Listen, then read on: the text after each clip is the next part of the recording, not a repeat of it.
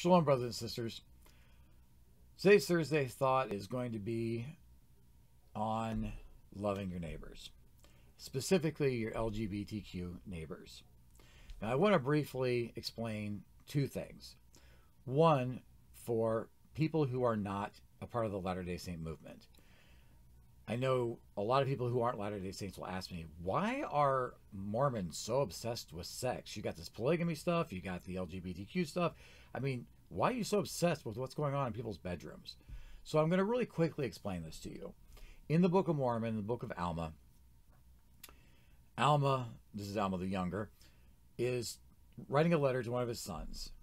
And in there, he says that what that son is doing is, is next to murder. And so you have to ask, okay, what's that son doing? Well, he's hanging out with this harlot named Isabel, and it's leading people away from God. So many Latter day Saints, I don't know about many, well, many Latter day Saints, yes, as far as I was going to say churches, but not all Latter day Saint churches. Some Latter day Saint churches interpret this to say that sexual sins are next to murder. However, if you actually know Alma the Younger and you know his story, you know that when he was younger, he actually led people away from God. He and the sons of Mosiah. And when he was born again, when he had his come to Jesus moment and he repented, he went back to these people and said, Hey, I was wrong. I'm sorry. Please come back to God. And they said, No. So in his mind, he spiritually murdered these people by leading them astray and not being able to help them come back to God. So when Alma says to his son, This sin is next to murder, he's not talking about sexual sin. He's talking about leading people away from God, telling people there is no God, making people think that God isn't real or God doesn't need to be followed. So that's why Latter day Saints have this weird, unhealthy relationship with, with sex, gender, those types of things. To my Latter day Saint friends, I know it's real easy to go into the mistranslated Bible and grab stuff to push this agenda. Unfortunately, that's not what it says if you go to the original languages. And I am not a biblical scholar. I don't have a PhD in translating Hebrew. I'm familiar with Hebrew and Greek. I've studied both of them. But if I told you I am an expert, I would be deceiving you. I, I am not an expert. I know enough. The Lord has blessed me with the gift of translation. But when it comes to what I'm about to tell you, this is not coming from me. It's coming from actual experts that I went to to find the truth. Because I went years ago to write an article to prove that homosexuality was a sin and that these people needed to repent. And I was going to get every ounce of information. I this was like a research paper. In fact, it, it was a research paper. And when I was done, I got on my knees and I repented to God for the things I had said and done up to that point. Because everything I believed was wrong in Leviticus when it talked about homosexuality being a sin, that wasn't in the Bible in the English translation until the what I think it's the 1940s. And if you actually go back to the original Hebrew, you have to look at it in context. You can't just translate things literally. Back then, there was a problem with pedophilia. It was considered a normal thing. And Jehovah was against that. Jehovah, Yahweh, whatever you want to call the God of the Old Testament, he saw that as the abomination that it is. And so it's written into the law of Moses. No, no pedophilia. And it is mistranslated in Leviticus because people with an agenda wanted to be able to say that something they didn't like was a sin. Then later on in Deuteronomy, in the Hebrew, it talks about temple prostitutes. You cannot have a male temple prostitute. Yahweh, Jehovah, the God of the Old Testament, has always been against temple prostitution. It's throughout the Torah. And unfortunately, some people mistranslated it to push their views. Likewise, Paul in the New Testament. Again, another mistranslation. When a man uses their position of power and authority to sexually control another man, which I would call rape, that is a sin according to Paul. And I don't disagree with Paul. You should not do that. But it's not saying that homosexuality itself is a sin. Okay?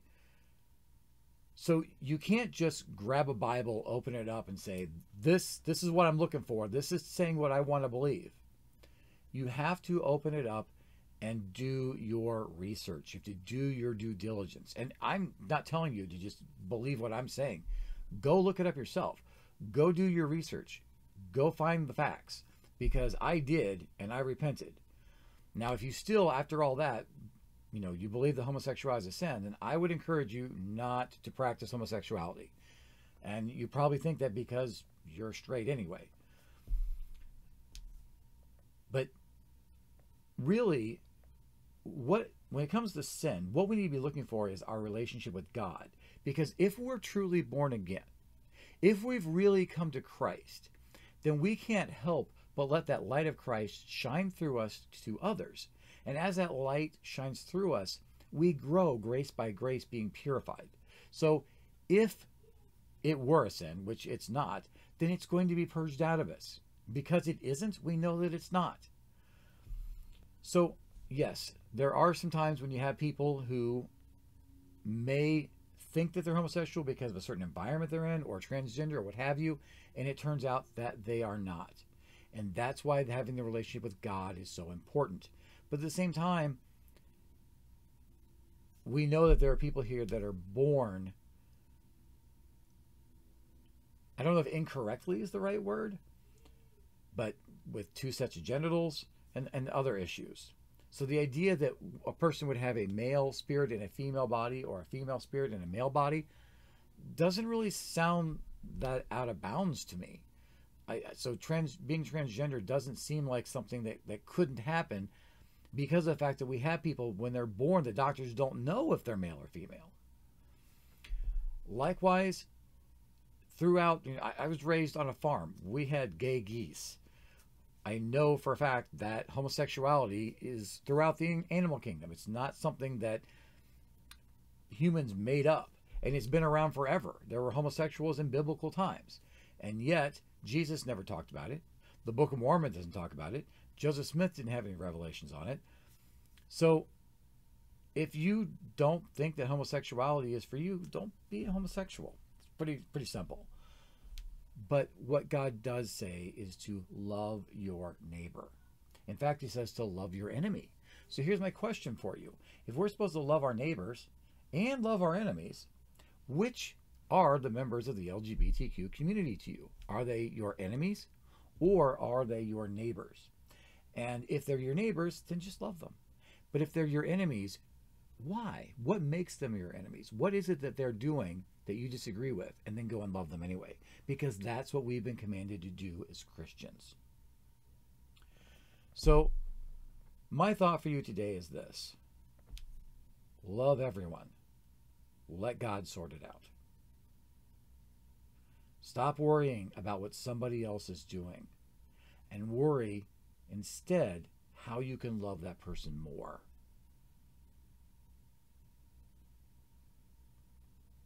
Ask yourself, why is it that X, Y, and Z sins in your mind are more important than the sin of not helping those in need, not loving those that need your love and guidance?